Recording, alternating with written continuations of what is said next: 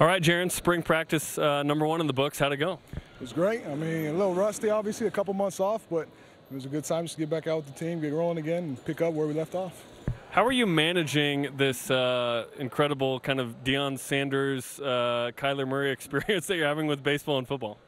I mean, just taking it a couple hours at a time. You know, when I'm at school, I'm at school, and then when I'm at baseball, I'm there at baseball, and, and then make my way to football. So just kind of piecing up the day and not let myself get overwhelmed with all the, the tasks at hand and just, just loving it. That's how I get through. If I love it, then, you know, the sacrifice is worth it. So. Do you love both sports, or do you love one more than the other? I love them both. I do. If you ask me, I, I couldn't decide now, and I'm in love with them both. And you're a redshirt freshman, so you have some time, right? Got a little bit of time, absolutely. so.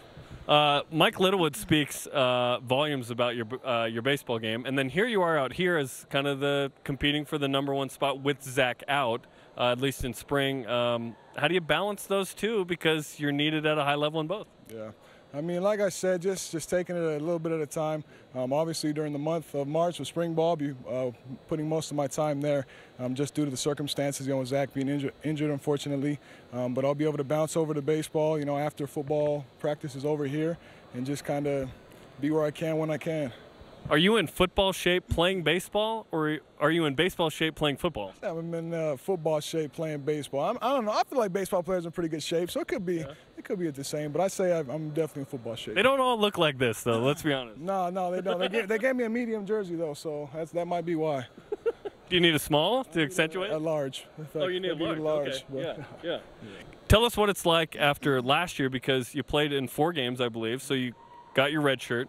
Um, yet now you're able to uh, kind of pass the ball and, and, flex out a little more in this offense. What, what was that like today? It was great. You know, just to air the ball out again, let my arm get going. You know, I still feel like I haven't peaked yet. My arm strength, obviously, coming home from my mission just you know nine and a half, ten months ago. So still getting that back out. So it's it's nice to start throwing the ball a lot.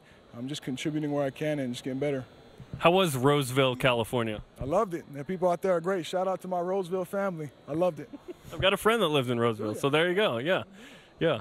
I asked him if he knew you. He's like, oh, I didn't know Elder Hall, but yeah, there we go.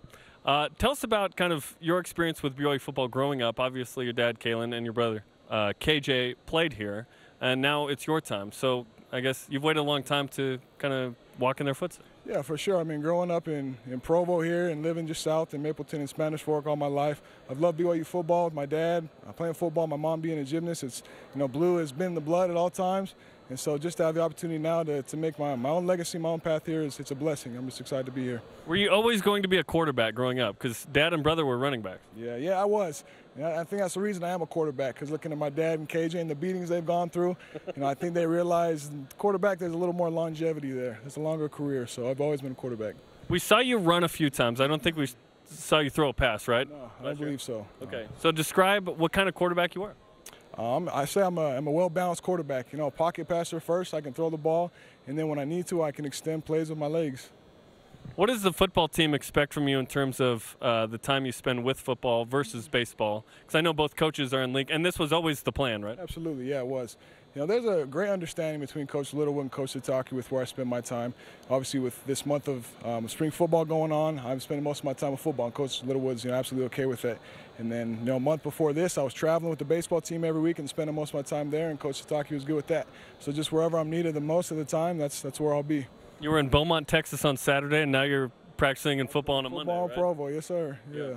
Uh, describe to us what this experience could mean for you because no one wants to see Zach Wilson out, but it's an opportunity for other guys to get more reps. Yeah, absolutely. It's just a chance for everyone to, to get better, to learn the offense. And Zach's still out here with us, you know, thankfully teaching us up and helping us where he can because obviously he knows the offense as well as anybody. So it's, it's great to have him out here and we're just hoping he gets back soon. But you know, it's a great time for us to learn and to, to get better and just to find our, our part in this team. Second spring ball for Jeff Grimes. So how was this one maybe started differently than last year? So I actually wasn't here uh, last year for spring. You were on your mission. That's right. Okay. So, I so you have no clue. You're like I was knocking doors. Yeah, exactly. Well, thanks for the time, and uh, we look forward to much more from you. Appreciate it, John. Thank Thanks, you.